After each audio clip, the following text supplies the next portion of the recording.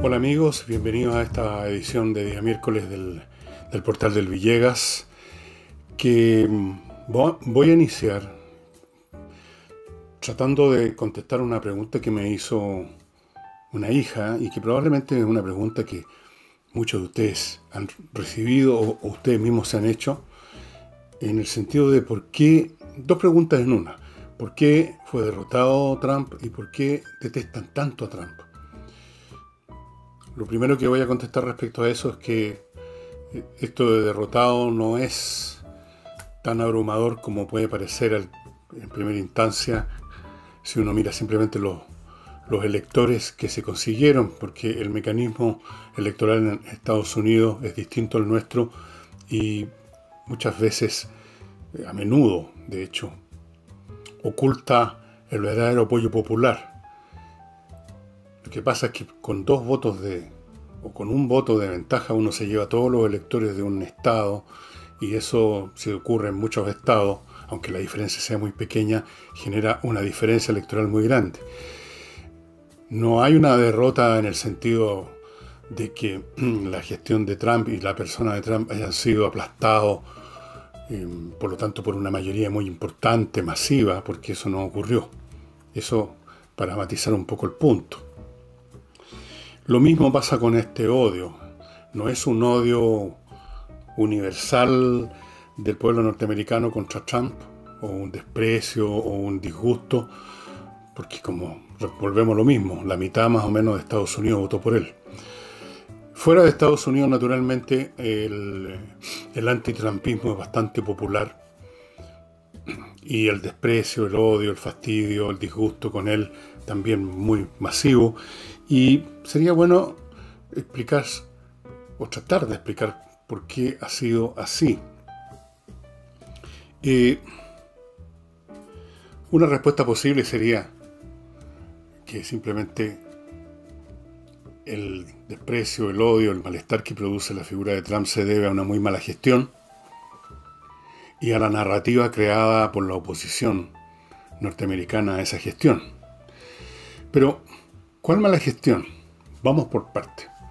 Hasta antes de aterrizaje de este aerolito llamado COVID-19, la economía norteamericana estaba creciendo como hacía mucho tiempo no crecía.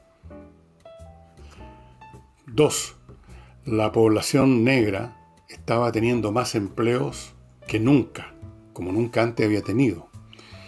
Tres, la población hispana también estaba teniendo más trabajo, más empleo y toda clase de beneficios como nunca antes había tenido.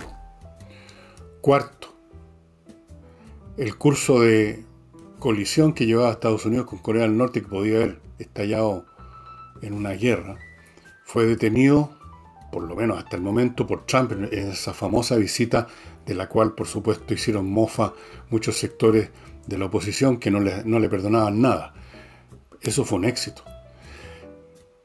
Quinto, las gestiones de Trump, del gobierno de Trump, fueron importantísimas para, no las únicas, pero fueron un factor importante en los procesos de restablecimiento de relaciones entre Israel y varios países del Medio Oriente, países árabes, países islámicos. Eso no puede ser tampoco considerado un fracaso, una razón para detestar a Trump. Tampoco me imagino que sea una razón para detestar a Trump el que haya impedido, el que haya imposibilitado, el que, como, ocurrido, como ocurrió en todas las administraciones anteriores, Estados Unidos se involucrara en una nueva guerra no hace mucho ha estado retirando tropas de, del Medio Oriente. No me imagino que esos soldados y que sus familiares odien a Trump por eso. Luego está el tema de los inmigrantes, con el cual se ha hecho un escándalo fenomenal porque va a la línea de flotación de, ese, de esa fraternidad retórica de la izquierda con los desposeídos. Pero la verdad es que Estados Unidos no podía estar recibiendo indefinidamente masas y masas y masas de personas sin ninguna destreza especial, sin, sin conocimiento del idioma de los de sectores sociales por los cuales sus miembros difícilmente van a encontrar buenos empleos y van a con mucha facilidad convertirse en parte de los yetos de pobreza y delincuencia, alguien tenía que poner freno a eso, por feo que parezca, por feo que sea, por antiestético. Y Trump lo hizo. Y podríamos seguir enumerando cosas positivas, muchas de las cuales son de régimen más interno de Estados Unidos que no se conocen, muchos ni siquiera los norteamericanos las conocen, y que por lo tanto configuran una administración que desde el punto de vista de la gestión, y ahora en aquellas cosas que son poco estéticas, como el poner un muro en la frontera, el muro que se está construyendo en la frontera con México, eh, eran necesarias. Trump hizo cosas que son positivas per se y otras que eran necesarias, aunque no sean tan positivas desde el punto de vista estético. Es difícil encontrar en la gestión de Trump algo que se pueda reprochar como maligno. Quizás su relación con el medio ambiente, porque no ha firmado los tratados que con tanta pompa eh, se han, han sido preparados en distintos momentos en Europa. Pero, ¿de qué han servido esos tratados de todos modos? No, no hace mucho tiempo en un programa, tres meses quizás, les contaba yo que las estadísticas mostraban que después de todas las firmas que se han hecho, donde aparecen los líderes mundiales dándose la mano, abrazándose, y salen los chicos de las sensibilidades ambientalistas a las calles a abrazarse y a contonearse, y resulta que las emisiones de todos los gases contaminantes han aumentado. Son ejercicios retóricos, ejercicios escenográficos, políticos. ¿Cuál ha sido la diferencia entre que firmara o no firmara Trump? ¿Cuál? Ninguna. O sea, hay bastante hipocresía en quienes en el mundo ambientalista culpan a Trump de algo como si el problema no siguiera exactamente igual con o sin firmas en nuestros tratados que incluso están bastante disminuidos cuando llegan a ser firmados en su, de sus metas iniciales. Las metas son disminuidas para que firmen la mayor cantidad posible, no hay eh, sanciones para los que no cumplan, todo queda librado a la buena voluntad las partes y las cosas no se cumplen y por eso que las emisiones aumentan. Y el día que disminuyan no va a ser por los señores líderes que son políticos y por lo tanto ya sabemos cuál es su catadura, el, el doble estándar que ocupan, cuando disminuyan va a ser por cambios tecnológicos, va a ser porque va, a haber crecido más allá de cierto nivel el uso de energías renovables, porque va a empezar a usarse menos los hidrocarburos, porque van a mejorar las tecnologías de los motores, porque los motores en vez de ser a combustión interna van a ser más y más, más eléctricos, o se va a ocupar el hidrógeno, que es menos contaminante. No va a ser por firmas, no va a ser por tratados, no va a ser por congreso, no va a ser por cumbres ambientales. Todo eso es, literalmente diría yo, una farsa que ponen en el escenario los políticos del mundo para aquietar la presión ciudadana sobre esta materia. Así que, ¿cuál fue el pecado en esta materia de Trump? Otra cosa que hizo y que alguien tenía que hacer en el gobierno norteamericano era presionar a los países europeos para que contribuyan con más dinero, que gasten más de sus recursos, eh, de sus ingresos, de sus fondos, en la mantención de la OTAN como un organismo militar creíble.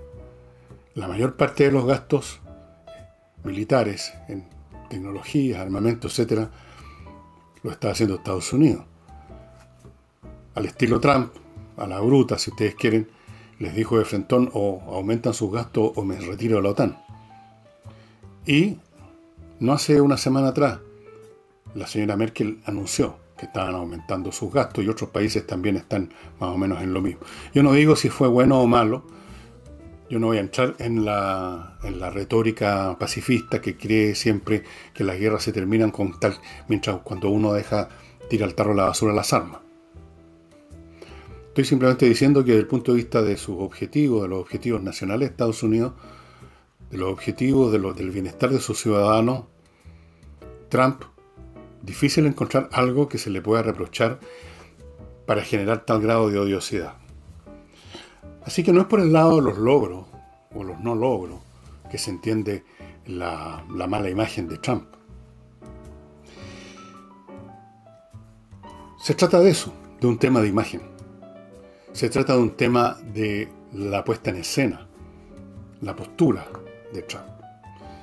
Fíjense ustedes como prueba de que no es su gestión la que causó eh, que una parte de la población, la mitad de la población norteamericana lo deteste y gran parte de la población mundial lo deteste. Fíjense ustedes que esto empezó a pasar antes que asumiera de presidente. De hecho, empezó a pasar cuando era un candidato entre otros candidatos del Partido Republicano. Ustedes quizás no se acuerdan, pero yo me acuerdo. Cuando empezó la carrera presidencial para el año 16, la carrera empezó el año 2015, creo, o finales del 2014, yo me acuerdo de programas de televisión de las cadenas que luego se dedicaron todo el tiempo a tratar de desacreditar a, Trump. Cómo se reían.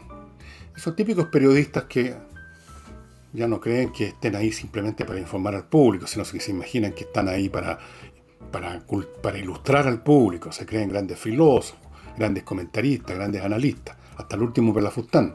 Eso se ha convertido ya ahora en un estándar en el periodismo mundial. Pero ya lo era en el 2014. Se reían, sacaban unas, unas recitas burlescas, esas recitas de superioridad. Detestaban a Trump. Y lo detestaban porque era un personaje ajeno al establishment político, cultural, comunicacional y económico de Estados Unidos. Estados Unidos estaba viviendo hasta el momento en que fue elegido Trump una situación de declinación cada vez más rápida pero a la cual todos se habían acomodado. El mundo empresarial haciendo negocios con los chinos, aunque sea a corto plazo, ganando mucha plata, aunque estaban dejando sin industria Estados Unidos. Los comunicadores viviendo en una cómoda convivencia, coexistencia pacífica con los mismos políticos que se eternizan en el Congreso norteamericano y se eternizan los comentaristas de cuestiones. Vean ustedes la televisión, los rostros de, las grandes cadenas, muchos de ellos son verdaderos eh, valetudinarios se acomodan. Había un acomodo general de todos con todo. El establishment estaba cómodo. Estaba cómodo con este lento y adormilado deslizamiento hacia la irrelevancia de Estados Unidos. Poco a poco, económicamente, políticamente, internacionalmente. Estaba en paz con su decadencia. Todos acomodados, los empresarios acomodados con los negocios con los chinos, los políticos acomodados en sus pitutos eternos, los comunicadores convertidos en amigotes de estos políticos, las empresas de alta tecnología haciendo suyo, eh, promoviendo y encontrando apoyo, leyes que los convirtieron en intocables hasta el día de hoy. Y a todo eso vino a poner entre paréntesis Trump. Trump entonces fue detestado y se burlaban de él al principio, cuando no no, se creía que fuera a ganar, pero después se le detestó porque ganó y se convirtió en una figura peligrosa. Trump representaba todo lo opuesto a todo eso, en, todos los sentidos. Entonces, si a eso agregamos que el hombre es combativo, que no presenta la otra mejilla cuando lo golpean, que es de un temperamento irascible, que es forceful, como dicen los gringos, o sea, una de esas personalidades avasalladoras, que no tiene ni un problema para tuitear lo que se le pase por la cabeza, así se moleste medio mundo. Y si agregamos a eso como tercer elemento, que él es defensor y representativo de una sociedad norteamericana, de una cultura norteamericana más bien tradicional, que está en completa oposición a los valores, la mentalidad, las posturas, las ideas, si que podemos así llamarlas, de las nuevas generaciones. Esta generación progresista, que la vemos también en Chile, la vemos en Francia, la vemos en todos lados, que tienen distintas concepciones del sexo, de la homosexualidad, de, de todo. Bueno, por esa razón, por esa razón, Trump llegó a ser detestado, por una cuestión de imagen, básicamente. O sea, no era ni es el hombre que está en sintonía con esa mitad de Estados Unidos, que ya sea por su juventud, ya sea por sus inclinaciones ideológicas, cualquiera que sea su edad, veían en Trump la representación misma, la encarnación de los valores de la sociedad norteamericana tradicional y por eso no lo perdonaron nunca. Así la economía estuviera creciendo antes de la pandemia, así hubiera impedido nuevas guerras, así hubiera repartido soldados, así hubiera logrado todas estas cosas. De hecho, con esto de la pandemia, para que veamos al punto en que llegó la, animosidad contra Trump, Trump fue el primer, el primer líder mundial que cuando empezó este asunto prohibió los vuelos desde China a Estados Unidos, cuando se hizo claro que la cosa estaba, se originaba allá. ¿Y qué hicieron? ¿Qué hicieron los opositores? Lo acusaron de racista. O tenía racismo contra los chinos. ¿Por qué razón un norteamericano puede ser racista contra los chinos, con los cuales no tiene contacto realmente? Imposible decirlo, es absurdo. Si hubiera sido un presidente del gusto de ellos, lo habrían aplaudido por la rapidez con que había actuado. Pero en el caso, en el caso de Trump no importaba la rapidez, era racista. En cambio, veamos ahora qué pasa con Biden, o Biden más bien dicho. Biden, en términos de imagen, se maneja en una sintonía, en una frecuencia completamente distinta a la de Trump. Él no aparece como el batallador que quiere imponer o quiere restablecer ciertas formas de convivencia, ciertas normas, ciertas conductas, ciertas leyes, ciertos valores, sobre la base de un empuje eh, combativo. Se presenta como el tío abuelo bondadoso, amoroso, que habla de sanar, que habla de curar. Se presenta con una retórica suave, adormilada, tranquilizadora. Una retórica mañosa, por cierto. Como por ejemplo que esté anunciando, a pesar de que todavía no ha sido oficialmente nombrado presidente de los Estados Unidos, esté este, se está diciendo, parece ser que él va a generar, va a dictar un mandato de que todos los norteamericanos tienen que andar con la mascarilla en cualquier lugar.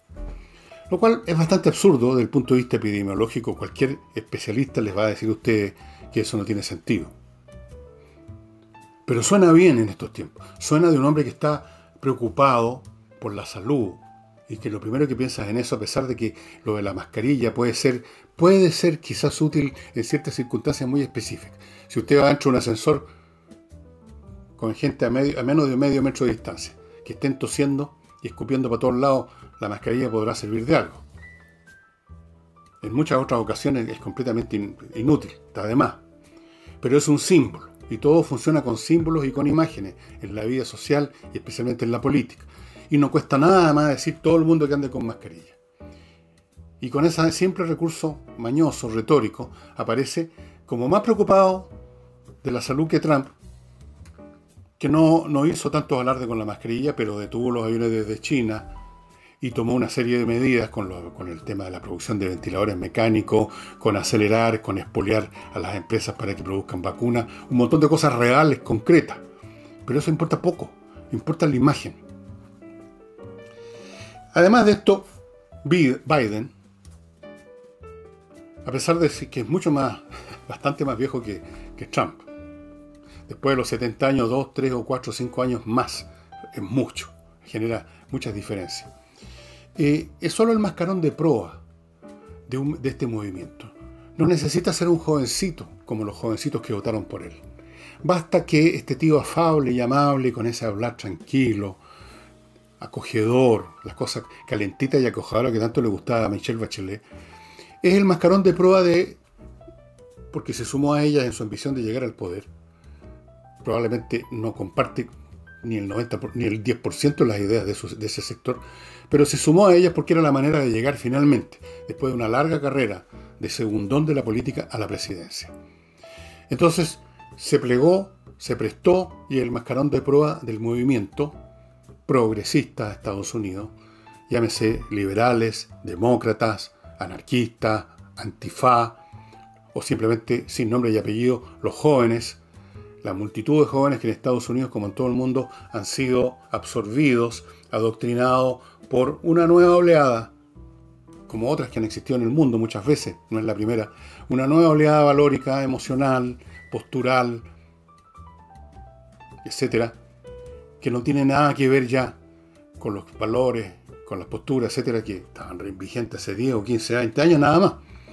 Y si Biden se pliega y les sirve como mascarón de proa de esta embarcación, como el espolón, si ustedes quieren, un espolón de sonrisa y de frase acogedora, ¿por qué no? ¿Por qué no iban a querer a Biden? ¿Por qué no iban a votar por él por último, que no lo quieran? No sabemos lo que hay en el corazón realmente de muchos de estos votantes jóvenes por Biden, si realmente lo aprecian, lo valoran o están simplemente o simplemente votaron por él porque era la manera de hacer que los que realmente están detrás de Biden, eh, otro viejujo, Sanders, pero que también es hombre progresista, la esta congresala,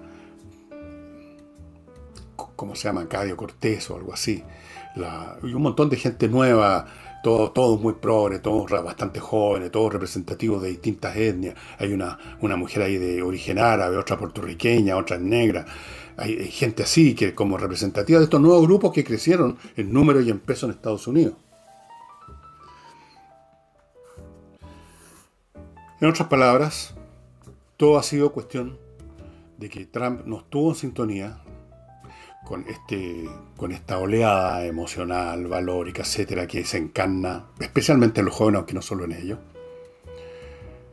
Segundo, rasgos de su personalidad, de su propio temperamento que no le facilitaron el salvar, digamos. Eh, Quién sabe si un Trump, el mismo Trump, pero un poquito menos beligerante, un poquito más tranquilo un poquito menos sanguíneo, un poquito más perdonador, más tolerante. No hubiera ganado por paliza, quién sabe. Desde luego, desde luego que las personas, los individuos con sus temperamentos concretos en ciertos momentos históricos y dentro de las circunstancias donde están operando, tienen un efecto causal importante. Podríamos nombrarle montones de ejemplos. Margaret Thatcher en Inglaterra, por ejemplo, Margaret Thatcher, con su carácter, con su fuerza de carácter, fue importante en muchos de los procesos, digamos, en el gran proceso de privatización que vivió la economía británica y otros fenómenos análogos en paralelo en los años 80. Margaret Thatcher, eh, Mikhail Gorbachev fue fundamental para el derrumbe del imperio soviético. El imperio soviético, según los especialistas, estaba ya osificado, esclerótico. La economía, la cultura, en fin, todo el aparato social y cultural de, la sociedad soviética, como el de todo el mundo eh, comunista, y por factores intrínsecos a lo que son los sistemas comunistas, estaba incapacitado de, no vamos a decir superar, sino siquiera empatar los grandes desarrollos económicos y tecnológicos de Occidente, del mundo capitalista. Pero observan estos analistas, habría podido subsistir eso, quién sabe cuántos años más, si no llega un hombre a empujar la estantería y ese hombre se llamó Mikhail Gorbachev, que quiso reformar las cosas, al reformarla empujó procesos que estaban larvados de cambio, de gente disidente, especialmente en Hungría y en Polonia, y luego, en el proceso mismo, él también fue cambiando y de ser un comunista que quería reformar el sistema un poco para que funcionara como sistema comunista, se dio cuenta que lo que no funcionaba era el sistema comunista y empezó a convertirse en un socialdemócrata. Y empezó el proceso de cambio a acelerarse hasta que se derrumbó todo. Y esto porque estaba en el poder Mikhail Gorbachev y no y no estaba vivo y gobernando todavía el que lo había antecedido, que era esta verdadera momia viviente, el Brezhnev. Son importantes las personas para los éxitos y los fracasos. Especialmente se ocupan puestos de poder, donde tienen, alcance, donde tienen acceso a las palancas de poder y cuando se dan ciertos momentos históricos. Bueno, por eso digo, con, otras, con otros elementos, con otra puesta en escena, Trump le habría ido mucho mejor. Aún así no le fue mal. Aparentemente perdió, no creo que este recuento vayan a cambiar las cosas mucho. Pero estaban aterrados los demócratas hasta, horas antes, digamos, de la mañana del día siguiente, del día después, aterrado, porque en todas partes, en todas partes, estaba ganando Trump o estaba perdiendo por muy poco, la cosa estaba muy empatada y, bueno, y terminó muy empatada. Así que todo es cuestión de imagen y del grado en que esa imagen está en sintonía con los tiempos. Eso es. En política, las palabras valen más que los hechos. Mucho más. Las imágenes valen más que las realidades. Mucho más. Por lo menos en ese corto plazo, en esos lapsos en que se decían cosas puntuales como una elección. A la larga, por supuesto, los hechos se imponen, las retóricas se desploman, las imágenes se desvanecen. Y ese es el momento, como lo vemos repetitivamente, no solo en América Latina, sino en otras partes del mundo, estos regímenes que se basan en la retórica, los regímenes de izquierda, los regímenes progresistas, dejan la crema, o sea, los hechos se imponen, y las sociedades a regañadientes eligen otra vez a los reaccionarios, a los conservadores, a los neofascistas, para que arreglen la casa. Y se inicia el ciclo de nuevo. Y ahora permítame pasar a mi primer bloque comercial, estimados amigos, que lo voy a partir con esta empresa SMF que le ofrece productos para dejar los suelos de su casa, de su empresa, del lugar que sea, impecables. Tiene productos para todo tipo de suelos, parquet, eh, piso flotante, moqueta, alfombras, pisos duros, mosaicos, baldosa, todo. Recuerden, recordemos, un piso en mal estado, un piso que se nota feo, aunque lo hayan tratado de, de virutillar, de encerar, un piso que está en mal estado, realmente echa a perder todo, así como un zapato sucio y feo y manchado, aunque uno anda en smoking, digamos, echa a perder todo. SMF está hace más o menos 20 años entregando los mejores productos para la limpieza de todo tipo de suelo. Ahí están los datos, amigo mío. Si usted quiere dejar impecable el suelo de su casa o de su empresa, póngase en contacto con SMF. Y para temas, temas civiles en materia de litigios con la justicia, temas civiles, civiles, como los que siempre le pongo de ejemplo, Salina y Ojeda salinasyojeda.cl es el sitio que ellos manejan para que usted se contacte con ellos y le ponga, los pongan antecedentes de sus problemas. No olvide que los juicios son cosas serias. El juez resuelve y usted puede perder como en la guerra. A menos que apele a una justicia superior, a un tribunal superior. Más gasto y tampoco es seguro que vaya a triunfar. Por lo tanto, más vale partir desde el primer momento con los mejores abogados de la plaza en temas civiles y esos son Salinas y Ojeda, un buffet que se especializa en eso y por lo tanto ese es el secreto de su muy elevada tasa de éxito. Salinas y Ojeda. Y la muy elevada tasa de ventas de inmuebles de Hey, el mejor corredor, el más rápido de Chile, se basa en una cosa muy sencilla trabaja mejor que los demás. Primero, trabaja más. Trabaja de lunes a domingo, sin parar, todo el día. Segundo, tiene métodos innovativos, no meramente el anuncio en las páginas económicas, no meramente el, ayudante, el suche que manda con una llavecita de abrir a mostrarle la casa a los interesados. Tiene métodos mucho más potentes y por lo tanto vende mucho más rápido. En breve, vende vende. Te quiere vender en vez de estar cuatro, cinco meses, un año, dos años esperando que aparezca alguien interesado. Hey. Hey también le administra sus arriendos si usted es rentista. Sáquese ese peso encima. Le encuentra un buen arrendatario, si eso es lo que usted anda buscando. Y si usted lo necesita para vender, para cualquier cosa, por último, por lo que sea, tasa su propiedad. Hey, estimado amigo, maneja todo el tema, todo el espectro del tema inmobiliario mejor que nadie. Y ahora paso a materiales, a materias chilenas. Se me fue bastante tiempo con esto de Estados Unidos, pero en fin, es interesante. Porque, entre paréntesis, para terminar el cuento, el tema de la imagen, de las promesas, de la retórica, de aparecer como el bueno en la película, es mucho más importante en la política como en otros aspectos de la vida que la realidad. Usted puede ser en el campo privado la persona más buena del mundo, Usted puede estar aportando fondos a 20 instituciones de, caridad privada. Usted puede estarle pagando los estudios a 10 niños que no son familiares suyos. Usted puede ser la mejor persona del mundo. Pero si tiene mal carácter, es hosco y no recibe a la gente, entonces usted es mala persona. Y viceversa. Usted puede ser un mamarrete que no suelta un peso por nadie. Un tipo que es capaz de traicionar a sus amigos, un desleal. Pero si es sonriente y simpático, usted va a ser una excelente persona. Así funciona la vida. Ahora es la UDI, estimados amigos, la que está anunciando un cierto distanciamiento, no sé, digo cierto porque no sé el grado, del gobierno.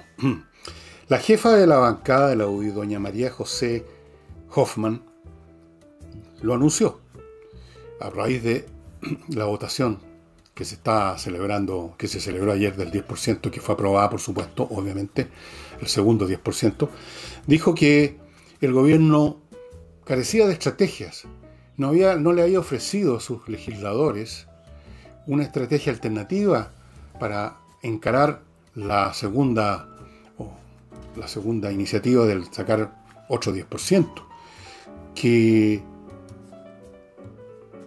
qué sé yo, dijo, lamento esa ausencia, esa ausencia de planes, ausencia de estrategias alternativas, etc. Lamento esa ausencia que nos divide cuando debiéramos estar más unidos que nunca para enfrentar el populismo. Y dicho lo cual, va y votó lo del 10% adicional, que es una medida totalmente populista. Flor de manera de estar unidos contra el populismo. Ahora, yo no sé cuál estrategia alternativa podría haber sido aquella que estaba esperando María José Hoffman y supuestamente otros, que yo creo que igual iban a votar con o sin estrategia alternativa por el 10%, porque ya se abrieron las compuertas de eso, y nadie quiere quedar del pesado que le niega ese 10% al pueblo chileno. O sea, los pocos que pueden sacar otro 10%, porque muchos se quedaron sin nada ya con el primer 10%. Entonces, ahora la culpa es del gobierno por no presentar una estrategia alternativa. A mí me parece una excusa nada más. Pero por lo demás, suponiendo que fuera cierto que ellos estaban hasta el último minuto mirando el reloj esperando una alternativa, una estrategia distinta, la pregunta es cuál podría haber sido esa estrategia distinta, salvo que el gobierno ya no sé a dónde se metiera otra vez la mano al bolsillo, cosa que ha hecho ya varias veces, para sacar plata, o seguir endeudando el país y seguir hundiéndolo en las situaciones que vamos a tener que vivir en los próximos años. Yo no sé si hay estrategias alternativas a esta altura ya. Yo no sé si quizás el gobierno consideró que no hay mucho que hacer. Que el Parlamento lo domina a la izquierda y ahora lo domina la izquierda más el alto auspicio de los eh, congresales de derecha que están esperando alternativas y como no llegan, dicen ellos, entonces se suman al piño, a la horda ladradora, a las huestes de doña Pamela Giles. Bueno. Y entre paréntesis, se habla siempre del populismo. ¿Y a qué se refieren con populismo cuando dicen hay que luchar contra el populismo? Bueno, en primer lugar no se lucha contra el populismo votando una ley favorablemente que podría parecer populista, aunque no estoy seguro si es populista o no. ¿Por qué no investigamos aquí en este momento, aquí y ahora, qué es lo que es populismo? Aquí es debiera llamarse populismo. Porque no confundamos populismo con popular. Ni confundamos populismo, popular y pueblo. Son cosas todas distintas. Una medida puede ser popular simplemente porque agrada a mucha parte de la población, quizás a toda la población, pero no necesariamente esa medida puede ser mala. Por ejemplo, este lo del 10, por lo menos el primer 10% es debatible si era una medida populista o una medida popular. Desde luego fue una medida popular, pero tal vez no haya sido populista porque quizás fue una buena medida en ese momento, dada la circunstancia, era necesaria. Ahora, entonces, ¿qué es lo que aquí, aquí se puede llamar populista?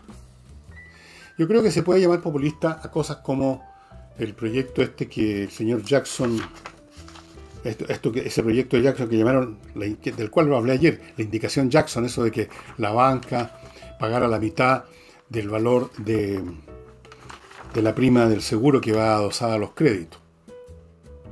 Populismo o populista, y no popular, sería una medida que de frentón está pensada sin ningún respeto por la razón, por lo técnico, por el sentido común, sino que está hecha a la medida para obtener ese aplauso popular.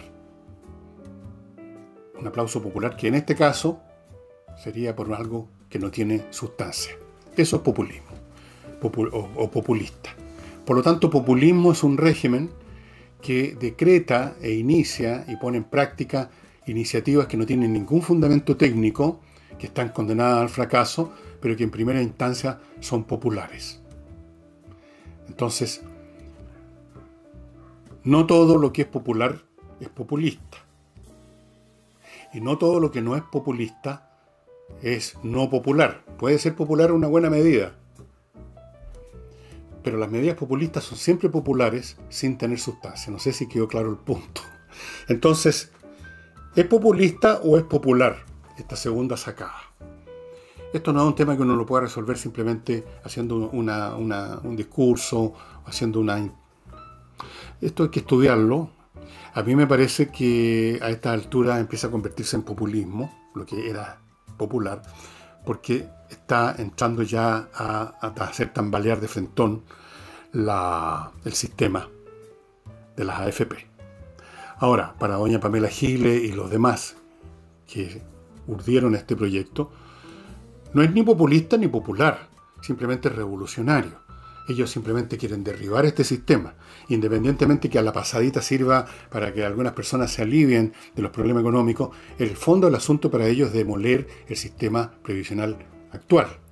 Entonces para ellos no se trata de ser popular o ser populista, sino que de ser revolucionario. Ya ven ustedes que hay distintos ángulos para examinar este asunto. Lo dejo para estudiarlo para más adelante. En algún programa de sábado trataré de meterme a explorar un poco más a fondo los regímenes populistas en comparación con los regímenes populares, en comparación con los regímenes oligárquicos. Vamos a hacer ese estudio algún día.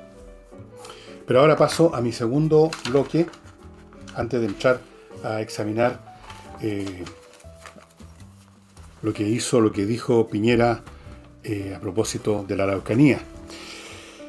Les recuerdo, estimados amigos, que usted puede sanitizar su empresa, el recinto de su empresa o de su oficina profesional, en fin, un lugar donde va gente todos los días, empleados, trabajadores, profesionales, clientes, visitantes, etcétera. Ese tipo de locales lo puede hacer entregándose a lo, entregando este problema de la contaminación por COVID o por cualquier otra cosa, entregándole el problema a Ozonium, firma que usted encuentra en la dirección ozonium.cl, que sanitiza con el desinfectante natural más poderoso que existe, que es el ozono, el gas ozono. ¿Cómo se hace? Usted arrienda con ozonio.cl una maquinita, no muy grande, es como del porte de un CEP, será como, como el porte de esto más o menos. Usted la programa y ah, cuando no hay nadie en ese recinto, pongamos a las 4 de la mañana, emana ozono el ozono se expande, como todo gas se expande por los espacios hasta cubrirlo todo, liquida todos los virus habidos y por haber, incluyendo el COVID, bacterias, todo, todo, todo, todo. Y usted el otro día puede estar tranquilo que ese recinto está completamente sanitizado, que nadie se va a enfermar por lo menos por estar en su recinto. Nadie. Eso es una ventaja importante para mantener funcionando en buen estado su empresa, su oficina, para que sus empleados estén tranquilos, para que sus clientes estén tranquilos. Y para que sus competidores que no emplean el sistema no estén tan tranquilos. Ozonium.cl es el lugar al que hay que acudir. Ahora, si usted quiere hacer lo mismo en su casa, sanitizar con ozono, Ozonium le va a enviar un equipo de personas, expertos, profesionales, a hacer esta desinfección con ozono. Y si usted quiere invertir en Estados Unidos, ya sabe, ya sabe. ¿Se acuerda? Invierta en USA.cl. No tiene que salir del país, no tiene ni siquiera que salir de su casa. Usted tiene que simplemente prender el computador, entra en inviertanusa.cl y está ahí, se le abren todas las puertas. Ellos conocen en esta empresa, Inviertanusa, cómo entrar al mercado norteamericano, pero fuera de eso, de que dominan todos los mecanismos legales, administrativos para invertir en Estados Unidos, tienen ofertas concretas de inversión. Tienen cientos de ofertas o miles de inmuebles, de bienes inmobiliarios, terrenos, casas, departamentos, edificios, en los más distintos estados de ese país. Fuera de eso, manejan alrededor de 3.500 franquicias que representan otros tantos tipos de negocios donde usted puede invertir, es cuestión que usted escoja. Fuera de eso, le pueden abrir una cuenta corriente en Estados Unidos en dólares en dos semanas. Y fuera de eso, si usted quiere irse a vivir a Estados Unidos para manejar sus negocios en para esta inversión que está haciendo, y quiere manejar estas inversiones en vivo y en directo, le consiguen una visa de residencia en Estados Unidos. Paquete completo. Y vamos a la Club. Ahora, estimados amigos, este detergente potente, muy bueno, excelente, biodegradable, hipoalergénico, un envase de 10 litros que le dura mucho tiempo, lo pone al lado de la lavadora y no se termina nunca, tiene su propio dispensador, una llavecita especial. Se lo traen a la casa se lo reponen en la casa. Fuera de eso, la Oclub le está ofreciendo ahora tres variantes de un suavizante. Tres variantes por tres fragancias distintas para que usted tenga el equipo completo para un lavado como se hace hoy en día. El lavado, el suavizado, el aroma, la ropa queda pichocaluga, como se decía en tiempos de mi abuelita. Lavo Club con suavizante, estimados amigos. O sea, el detergente es Lavo Club, el suavizante viene en otro en base, usted coge el olor que prefiere. Piñera aparentemente designaría designaría una especie de lo llamó coordinador para la zona para la macro, para la zona macro sur, o sea, en el fondo la Araucanía. Pero advirtió, menos mala, porque no sabíamos, no hay un Superman disponible para esto. O sea, de hecho no hay gobierno, no hay ministro, no hay presidente, claro, menos va a haber un Superman. Eh, ¿Para qué voy a repetir los argumentos de ayer? ¿Qué es lo que va a hacer este coordinador en la práctica? Va a ser el embajador de Chile en el estado de la Araucanía. Eso es lo que va a hacer. Nada más. Luego, el presidente pidió una discusión inmediata para el Estatuto de Protección a las Policías. Protección a la policía. Es decir, ven usted, el mundo al revés. Hemos llegado a un estado de cosas en nuestro país en que en vez de ser las policías los que nos protejan, nosotros, por medio de leyes o estatutos, tenemos que protegerlos a ellos, porque están totalmente desprotegidos. Si mueven un dedo, si le, dan una cachetadita a un maleante, si hicieran como los flics de París que sacaron volando a esos estúpidos que estaban tosiendo frente a la cara de la gente en el metro, si se oponen a los manifestantes, a los combatientes, si hacen cualquier cosa, les cae encima las siete plagas de Egipto, el granizo, las plagas, las marabuntas, todo. Entonces, hay que protegerlos ahora a ellos. Se necesita un estatuto de protección de la policía para que puedan seguir viviendo. A eso hemos llegado. Y ahora vamos a Lavín, que hacía tiempo que no, no nos deleitaba con sus maravillosas intervenciones, quien anuncia a la nación, Urbi et Orbi, que está dispuesto, no me diga, está dispuesto a eventualmente, aunque esta decisión la tomaría después de abril, a liderar un gobierno, a liderar un proceso que no sea un Estado nuevo, que no sea ni de derecha ni de izquierda, sino algo distinto. ¿Qué es eso? ¿Qué es eso? ¿En qué, ¿En qué consistiría eso? Algo distinto. O sea, yo entiendo más o menos lo que es la derecha. Yo entiendo lo que es la izquierda. Más o menos tengo claro, creo que todos tenemos claro qué clase de país quiere construir la izquierda y qué clase de país suele construir la derecha pero no tengo idea qué clase de país es esto que se llama algo distinto. ¿Algo distinto en qué? ¿Dónde está la distinción? ¿En qué consistiría? Y ese algo, ¿cuál es la medida de ese algo? un poquito, más o menos, bastante, su buen poco, algo distinto. No sé ni siquiera cómo, cómo se va a avivar a este movimiento de la vina. Eh, ¿Cómo se va a llamar esta cuestión? Eh, ¿De centro algo distinto? ¿Algo distinto progresista? ¿Algo progresista pero distinto? ¿Distintamente progresista pero algo nomás?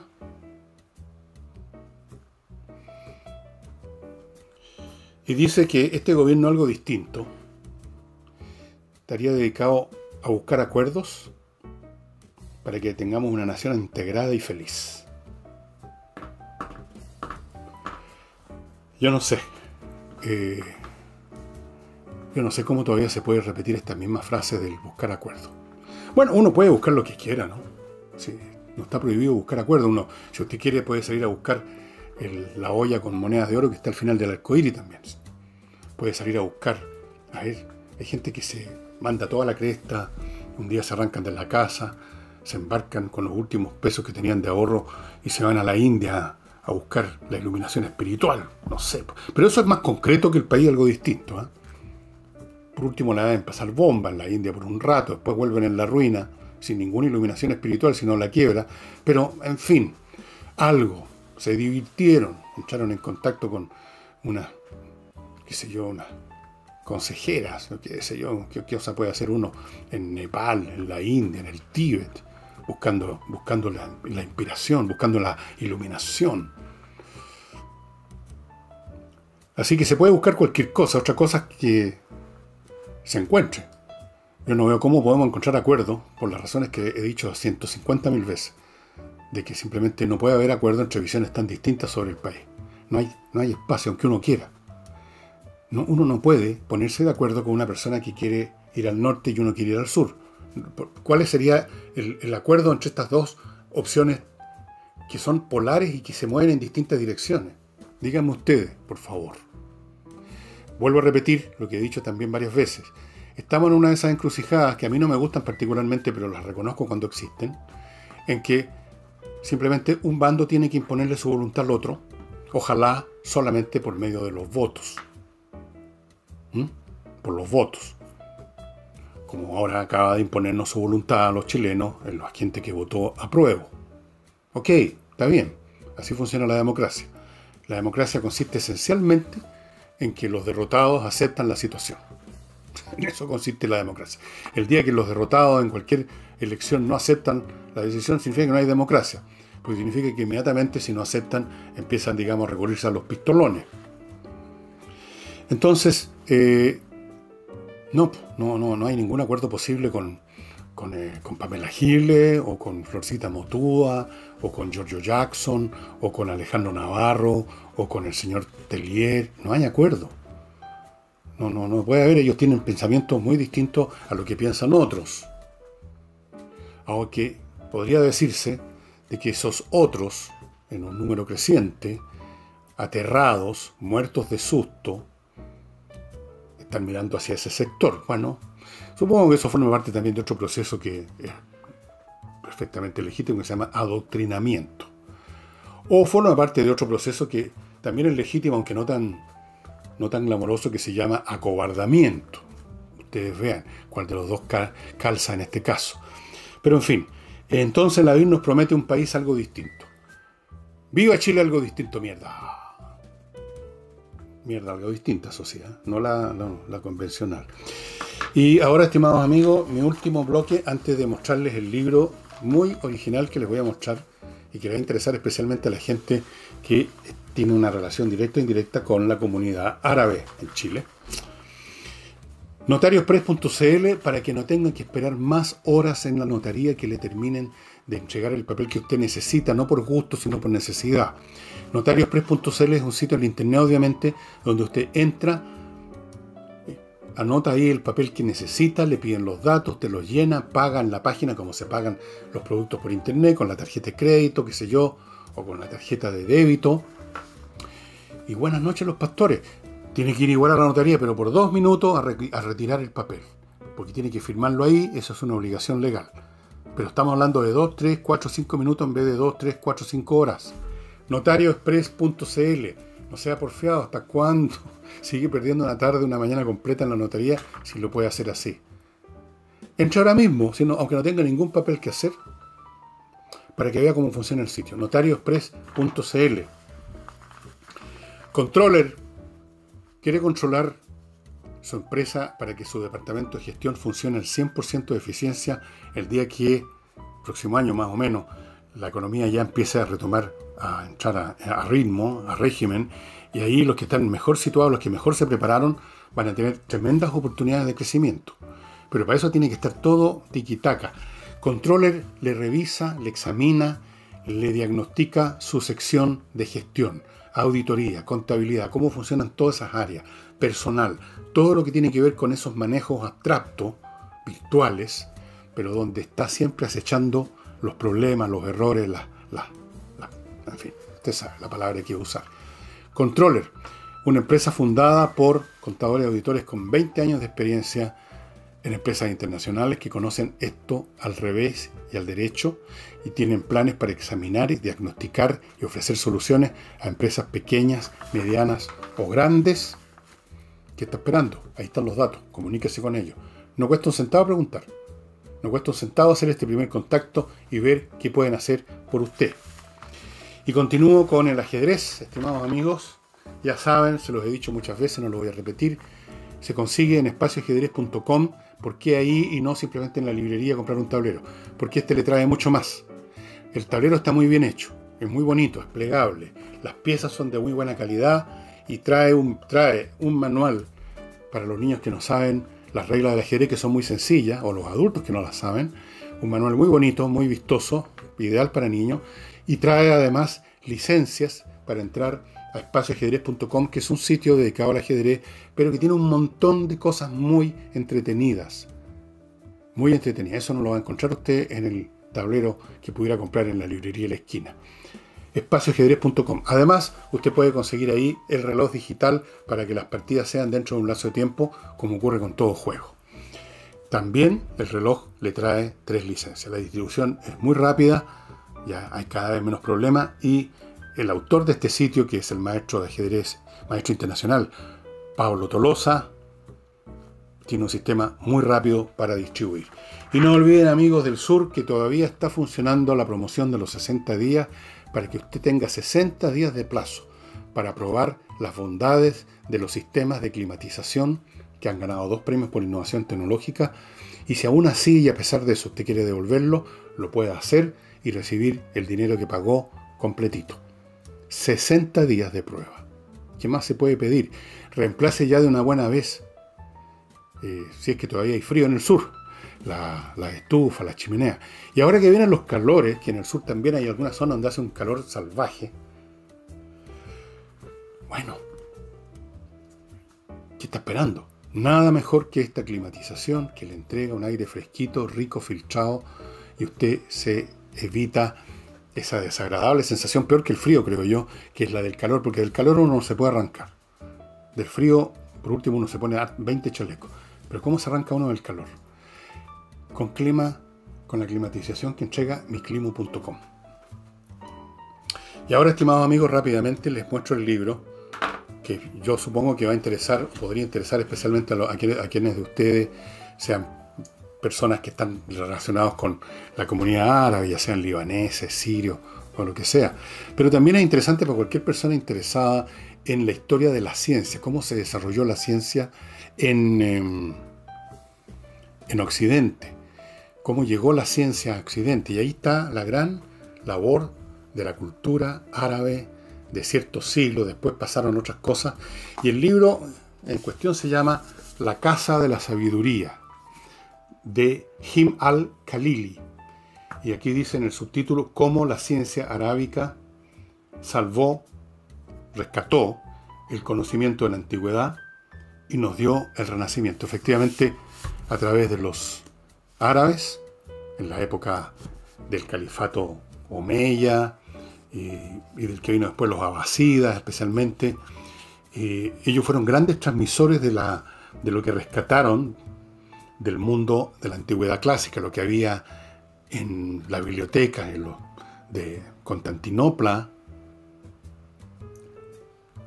o en los eh, sitios de estudio de Grecia o en Persia, por lo tanto también en China. Ellos fueron grandes transmisores y también fueron creadores. No solamente fueron transmisores los árabes en esa época, sino que fueron creadores, uno de los grandes y primeros grandes historiadores, tratando de entender una, tratando de captar una regla de desarrollo de la sociedad y las civilizaciones, es un árabe que se llamaba Ibn Khaldun. Todos los estudiantes de historia yo creo que habrán escuchado por lo menos ese nombre, que escribió un libro que todavía hoy es muy interesante sobre analizando el auge, decadencia y caída de los distintos reinos arábicos, musulmanes, islámicos, que aparecían, florecían y desaparecían muy rápido en el norte de África. Y ahí él explicaba lo que a él le parecía era la mecánica, las razones de estas tres fases del desarrollo de estos reinos. El libro es muy interesante. Em, ellos transmitieron y luego, lamentablemente, el mundo arábico cayó un poco bajo el poder de los clérigos musulmanes y, ese, y, ese, y se pasmaron. Ese mundo se pasmó y hasta el día de hoy las sociedades islámicas no han ni siquiera desarrollado lo que para nosotros es obvio, la separación entre religión y el Estado civil. Todavía la legislación, si podemos así llamarla, en el mundo arábico es el Corán, son, es la religión. Se basa en esa, en esa, en ese cuerpo de pensamiento y de comentarios, de comentarios, de comentarios, completamente. Así es que el libro es muy interesante, cómo se fue transmitiendo muchas cosas al mundo occidental. La Casa de la Sabiduría, este libro lo encuentran en inglés solamente. Em, es un libro muy nuevo del año 2011 en Amazon, que es mi fuente normal de libros nuevos. La Casa de la Sabiduría. Se lo recomiendo muy especialmente a los historiadores de la ciencia, a los que quieren saber ¿Cómo es que el Occidente se convirtió en esta civilización tan especial en que la ciencia fue su cerebro y su corazón, lo cual le permitió, del siglo XVIII y XIX especialmente, dominar el mundo? Pues de dónde vinieron las semillas de la ciencia? Bueno, no todo vino, por supuesto, de Oriente y no todo lo trajeron los árabes, pero fueron importantes. Y eso sería todo por hoy, estimados amigos. Mañana, como saben, mañana... ¿Qué día es mañana? Mañana es jueves, ¿no? Sí. Bueno, mañana jueves con Nicole Rodríguez. Nos vemos.